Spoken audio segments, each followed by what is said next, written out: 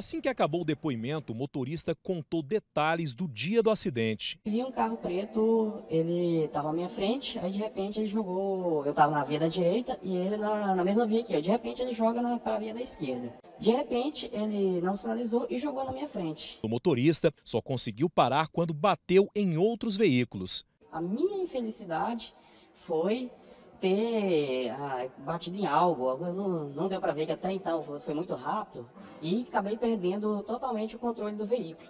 E aí o veículo passou, cortando a pista e infelizmente atingindo o, o, carro daquelas pessoas.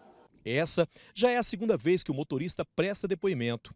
Ele foi ouvido pela primeira vez no dia do acidente. O depoimento durou cerca de 40 minutos. O motorista voltou à delegacia para esclarecer alguns pontos para o delegado. Aqui ele disse que no dia do acidente, assim que perdeu o controle do veículo, evitou frear. Isso porque, segundo ele, ficou com medo de bater em um outro carro que vinha logo à frente. Só que essa decisão do motorista piorou ainda mais a situação e contribuiu diretamente para essa tragédia.